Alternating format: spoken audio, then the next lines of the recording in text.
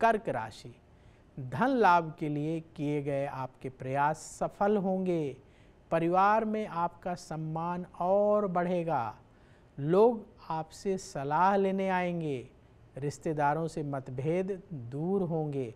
सेहत को लेकर चिंता रहेगी।